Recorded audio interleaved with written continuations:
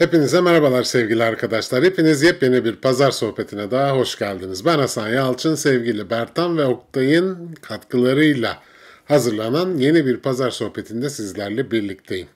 Öncelikle Ramazan ayını bitiriyoruz. Bayram geliyor. Şimdiden hepinize güzel, mutlu, keyifli bir bayram diliyorum ve bayramınızı kutluyorum.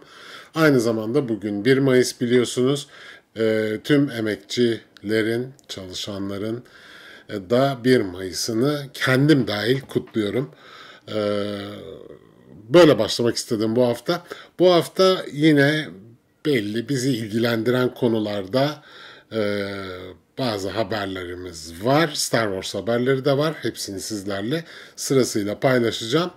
Eğer hazırsanız başlayalım. Bu güzel hafta sonu önümüzde bayram tatili artık biraz keyiflerimiz yerine gelmiştir diye düşünüyorum. Havalar da ısındı.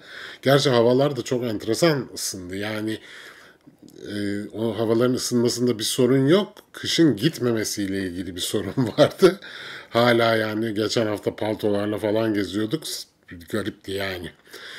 Efendime söyleyelim House of Dragon'la başlayalım. Biliyorsunuz Game of Thrones'un spin-off'u gelecekti. Variety'nin haberine göre House of the Dragon'un bölüm başına bit bütçesi 20 milyon dolardan daha azmış yani. Aman ne güzel 20 milyon dolar bölüm başına. 20 milyon doları geçmemişler bölüm başına yapılan harcamada. 20 milyon dolardan söz ediyoruz ve bir televizyon dizi televizyon da değil stream platformun bir bölümünden söz ediyoruz. Ee, bu dolar molar demişken de biliyorsunuz Elon Musk da Twitter'ı satın aldı tam tamına 44 milyar dolar ödeyerek yani e, inanılmaz rakamlar gerçekten inanılmaz. E, FIFA oynayanlar FIFA'da Ultimate Team oynayanlar da bilirler bu arada. Footbin diye bir site vardır. O sitede yani dızdın dızdı hani oyunla direkt ilgisi olmayan yani resmi bir elektronik arsın sitesi değil e, bir hayran sitesi gibi düşünün. İşte oyundaki futbolcu kartlarının e, toplu şekilde arşivinin bulunduğu o sitede 100 130 küsür milyon dolara satıldı yanılmıyorsam. Paralar paralar. Bizde ne var? Yine bir şey yok. Neyse. Ee, sizlere geçtiğimiz pazar sohbeti bölümlerinde özellikle söylemiştim. From diye bir diziden söz etmiştim. Bu Lost'un yazarlarının ve yapımcılarının e, işin arkasında olduğu güzel, enteresan bir diziydi. Kendini izleten bana göre e, çok fazla soru sorsa da ve bu soruyu sezon finalin bu soruların birçoğunu sezon finalinde e, cevaplamasa da yine de kendini izleten güzel, benim beğendiğim, hani vakit geçirmek için izlediğimiz bir diziydi. Burada merak edilen nokta izleyenler bilir ikinci sezonun gelip gelmeyeceğiydi. Epix'ten açık resmi açıklama geldi. E, From dizisinin ikinci e, sezonu çekiliyor ve 2000 bu yıl içinde çekimlerinin tamamlanacağı 2023 yılı içinde de platform üstünde yayına gireceği bekleniyor. Dolayısıyla biz de bekliyoruz. Kırmızı çizgimiz Ewan McGregor'la ilgili bir haberimiz var. Star Wars dışı olduğu için o grubun dışında tuttum bu haberi. Ee, kendisini gani gani tebrik ediyoruz. Çünkü benim ayrıyetten çok sevdiğim Mary Elizabeth Winstead'le en sonunda hayatlarını birleştirdiler. Zaten 10 aylık bir çocukları vardı. Ee, geçtiğimiz hafta sonu evlenmişler mutlu mesut bir hayat diliyoruz kendilerine. Her ikisi de eşlerinden boşanmışlardı birlikte olabilmek için bunun da altını çizelim. Pazar sohbeti öyle çok masum böyle he şirin bilim kurgu falanın yanında ciddi magazin haberlerinde altını böyle çizen ve laf sokuşturan da bir programdır. Bunu unutmayalım. Yeter ki havamızda olalım. Bugün fena değil. Ama gerçekten çok yorucu geçen bir dönem atlattım. Şu an fena değil. Ee, bir süre daha böyle gider. Herhalde Haziran'dan sonra yine Çıldıray abiye geçeceğiz. Robert Pattinson ve Matt Reeves'in e, birlikte kotardıkları The Batman filmiyle ilgili yorumlarımdan geçen hafta söz etmiştim. Bu yorumlara katılanlar katılmayanlardan daha fazlalıktaydı. E, benim gibi düşünenler çoğunlukta anladığım kadarıyla düşünmeyenlere de saygı duyuyorum. Herkesin fikri kendine. Ee, sonuçta yani beğenirsiniz beğenmezsiniz. Herkesin damak zevki farklı. Ee, ancak e, tabii yani ben çok beğenmemiştim tekrar hatırlatmak gerekirse. Ee, ikili Bat, Bat Batman'in bir devam filminde yeniden bir araya gelecekler. Batman 2, The Batman 2 filmi duyuruldu. Ona göre haberiniz olsun. Denis Villeneuve tarafından da haberler var. O da onun da biliyorsunuz Dune filminin ikinci bölümünün e, çekmesini bekliyoruz heyecanla. O da resmi bir açıklamayla e, şu anda pre-production aşamasında yani ön prodüksiyon aşamasında olduğunu bildirmiş. Bu demek oluyor ki resmi olarak filmin prodüksiyonu başlamış durumda şu an. Yani masalarda, toplantılarda, kaf, kafeterya köşelerinde konuşulmaktan çıkıp artık resmi olarak ellere kağıtlar, kalemler, tabletler alınmış ve pre-production yani ön prodüksiyon aşamasına geçilmiş. HBO Max platformu içinde hazırlanan ve uzun yıllardır artık yıllar oldu hani pandemiyi de işin içine katarsak hem pazar sohbetine konu olan hem de e, adından söz ettiren Dune The Sisterhood dizisinin yönetmeni de belirlenmiş. Çernobil dizisiyle adından söz ettiren Johan Reck dizinin ilk iki bölümünü yönetecekmiş. Göreceğiz. Çernobil'de demişken baba ne diziydi ya. Yani bir de Çernobil'in Çernobil'i canlı yaşamış biri olarak yani çocukluğumda yani ortaokul ya da lisedeydim yanılmıyorsam. Ee, müthiş işlenmişti ya hikaye. İnanılmaz bir dizi. Hala duymadıysanız ya da izlemediyseniz mutlaka HBO'nun Çernobil dizisini e, mutlaka izleyin. Yani gelmiş geçmiş diziler içinde en iyi dizilerden biri. Şüphesiz ki. Marvel sinematik evrenine doğru hareket edecek olursak da Kevin Feige'den haberler var. Marvel kreatif takımının yani yaratıcı takımın e, son derece e, rahat bir şekilde hareket ettiğini çünkü bundan sonraki 10 yıl için Marvel sinematik evreninin planlamasının çoktan yapıldığını belirtmiş ki e, bunu zaman zaman diğer programlarda da dile getiriyorum sizlere Marvel'ın e, başında işte çok hani böyle ne beton gibi bir abi var. O da Kevin Feige. Çok planlı, çok programlı. E, hiç yani işi batırmadan önceki yani bundan önce izlediğimiz işte Avengers ve yan karakterlerini mükemmel taşıyarak geldi. Bundan sonrasında düzgün planlama ve düzgün hamlelerle yine iyi bir şekilde götürecektir diye düşünüyorum. Beklentim de o yönde. E, çünkü önce hani yaptıkları yapacaklarının teminatı gibi olacak. Tabi ama Eternals diye araya bir şey girdi. Bakalım onu not nasıl toparlayacaklar. Eternals onların beklediği gibi bir e, yani beklentileri karşılamadı izleyici tarafında ama göreceğiz bakalım nasıl toparlayacaklar. Öte yandan Avatar 2'nin de artık yıllar oldu. Kaç yıl oldu? 11-12 sene oldu Avatar. 12, belki daha bile fazla olabilir. 13 de olabilir. Ee, sürün babam sürün. Artık avatarlar yavaş yavaş gelmeye başlayacak önümüzdeki yıllarda. Avatar 2'nin resmi adı Avatar The Way of Water olarak açıklanmış. Yani e, ya çok vakit harcandı ona ya. Neyse. Ee, Disney Plus Türkiye'de e, sosyal medya hesaplarından birçok paylaşım yapıyor ve aynı zamanda da işte duyurular vesaireler yapıyor. Türkiye'de aktif olmaya başlıyor. YouTube kanalı falan e, açıldı. Henüz içerik olmasa da yavaş yavaş hareket almaya başladılar. 14 Haziran'a kadar e, e-posta adresleriyle ön kayıt yaptıracaklara yıllık üyeliğe 349.90 yerine 279.90'a sahip olabilecekler. Yani 12 ay iz, yani 8 aylık öde 12 ay izle gibi bir durum ortaya çıkıyor. Ee, ben ona Türkiye Disney ilk girdiğinde bundan iki buçuk sene önce falan yani Disney Plus'ın Türkiye sitesi açıldığında beni haberdar et butonuna tıklayıp mailimi girmiştim. Hiçbir şey gelmedi. Hala gelmemeye devam ediyor. Sürekli oraya kaydoluyorum. Kaydoldunuz diyor. Bir şey gelmiyor. Bu teklif maili de gelmedi. Herhalde çıktığı gün mü gelecek ne olacak bilmiyorum ama yani gelse de gelmese de çok fark etmez. Eninde sonunda üye olacağız tabii ki. Ama e, fiyat çok iyi. Yıllık 280 lira acayip iyi yani. Çok iyi. A Quiet Place'te sevdiğimiz, saydığımız bir seriydi. Ee, yeni filmin resmi adı açıklanmış. Üçüncü bir Quiet Place filmi çekilecekti biliyorsunuz. Daha önce sizlere duyurmuştum. A Quiet Place Day One. Birinci gün. Gerçi bunda bir önceki filmde bahsetmişti ama onun da bakalım neyi bu sefer anlatacaklar. Ee, şimdi işte o, o noktalara nasıl gelindiğini merak ediyor insan. Güzel olabilir. Hunger Games'in de öncesini anlatacak olan The Ballad of Songbirds and Snakes'in e, vizyon tarihi de belirlenmiş 17 Kasım 2023 olarak Hunger Games sevenlere, meraklılarına duyurulur. Bir de bu Penguin vardı biliyorsunuz geçen haftalarda da söz etmiştim sizlere. Penguin dizisinin çekimleri 15 Haziran'da başlıyor. Hiçbir şey kalmamış. Colin Farrell başrolü oynuyor yine tabii ki.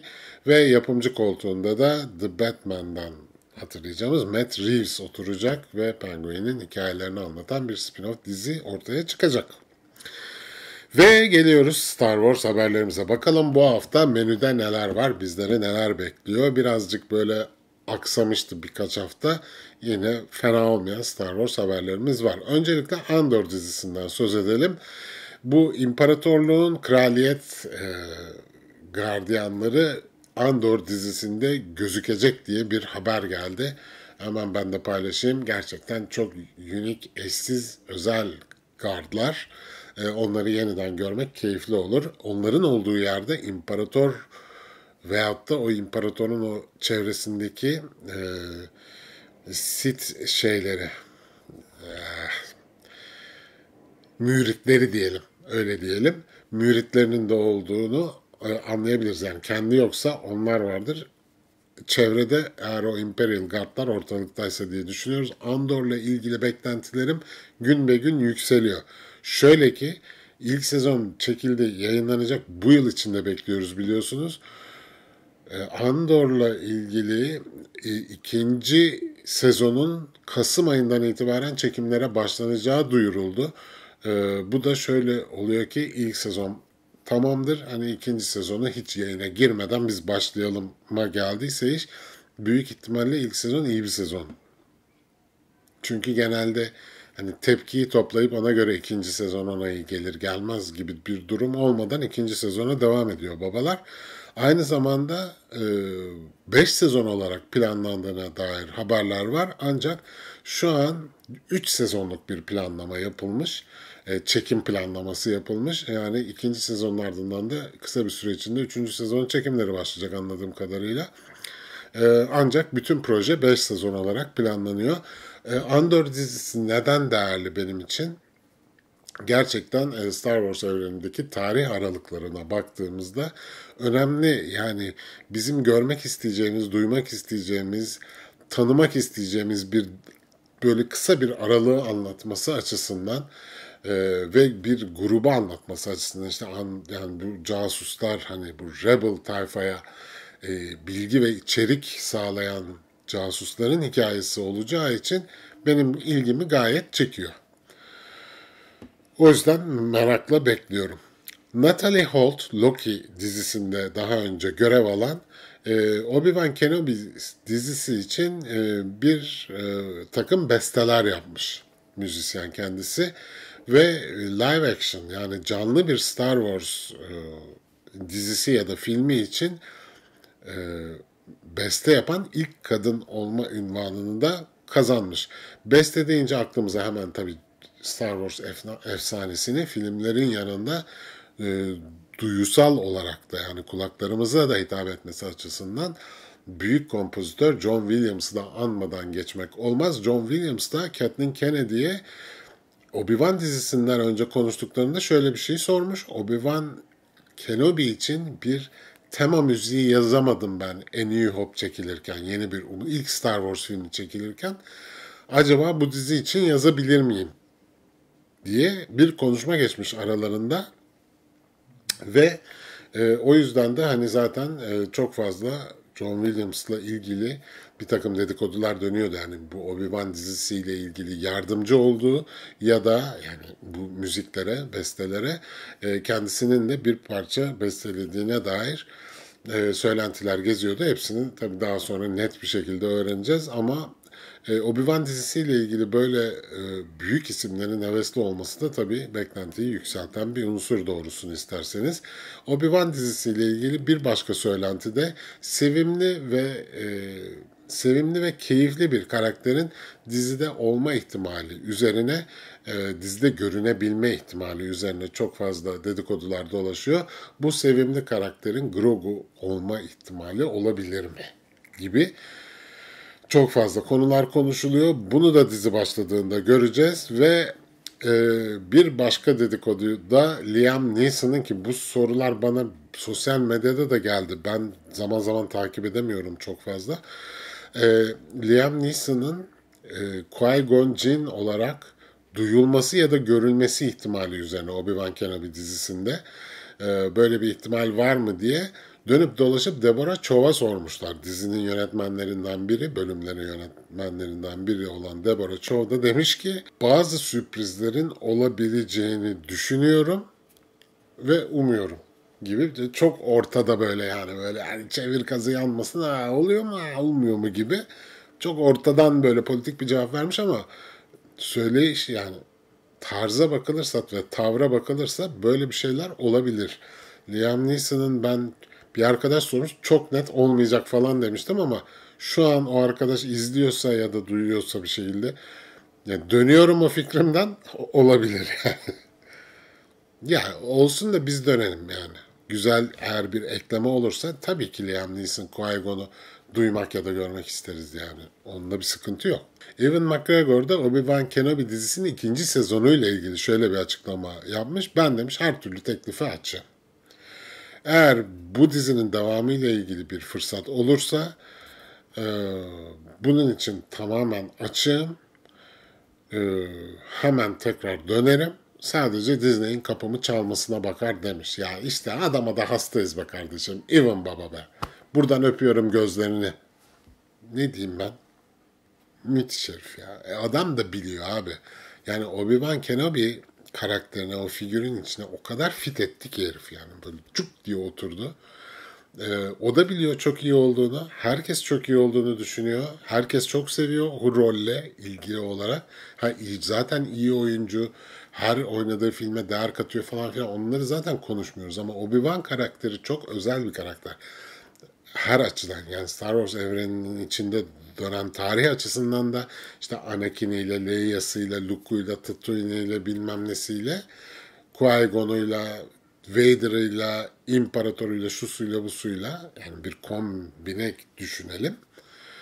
Ee, zaten çok özel bir karakter. Alec Guinness'in oynadığı dönemden kalan tavrıyla özel bir karakter. Ondan sonra biz öyle bir Ewan McGregor izledik ki ikinci üçlemede. Yani benim hep aynı şeyi söyledim yıllar boyunca. Yani on kaç senedir söylüyorum yani. Ee, Ewan McGregor'dan başkası oynayabilir miydi bu kadar iyi bilmiyorum yani. Müthiş bir Obi-Wan oldu. Ve o da bunu biliyor ve keyifli bir şekilde bak işte bak işte işler geç olmadan yapınca oluyor. Sebastian Stan Luke hikayesi kaçıyor mesela. Hala düşünüyor olur mu yapsak mı falan. Ya baba yapın. Efendime söyleyeyim, e, ikinci sezon için kapımı çalarlarsa ben full hazırım demiş. Helal olsun. Umarım çalarlar. Umarım iyi bir sezon olur. E, bu kadar Obi-Wan'dan bahsettik. Bir haber daha verelim. Yeni bir fragman beklentisi var ve bu fragmanın önümüzdeki hafta e, çıkması bekleniyor. Eğer böyle bir şey gerçek olursa bize çifte bayram olur tabii ki haliyle. Bu haftanın son haberi de bir oyun haberi sevgili arkadaşlar. Star Wars Jedi Fallen 2 oyunundan söz edeceğim sizlere. Ee, gelen haberlere bakılırsa PS4 ve Xbox One tarafında hiç çıkmayacak oyun. Yani tamamen yeni jenerasyon konsol ve PC'lere geliyor. Ee, PS5, Xbox e, Series X ve S ve aynı zamanda yüksek donanımlı PC'lere gelecek oyun. E, Jedi Fallen Order 2 ona göre donanımlarımızı hazırlayalım diyeceğim ama geçen gün böyle 45 bin liraya 60 bin liraya ekran kartları falan gördüm. Yine böyle tepem attı yani. Yani baba nereye gidiyoruz ya? Ha diyeceksin ki abi bir tabak makarna da 100 lira olmuş restoranda. Bir tabak çorba içiyorsun 30 lira. Şimdi bayram bayram ağzımızın tadı kaçmasın. Şeker koymamız gereken yerde ağzımıza. Ben benim böyle emekli albay tavrıyla yapacağım yorumlara maruz kalmamanız için burada kesiyorum ama ne demek istediğimi anladınız. Yani bugün Xbox almak iste sene iste yani. İstediğinde kalıyorsun. Böyle olmamalı. Ee, neyse uzatmayalım. Tekrar hepinize iyi bayramlar diliyorum. Umarım keyifli, güzel bir bayram tatili geçirirsiniz. Ee, benden bugünlük bu kadar. Önümüzdeki hafta bir aksilik olmasa yine ve yeni bir pazar sohbetiyle daha birlikte olacağız. Hepiniz kendinize çok iyi bakın. Bay bay.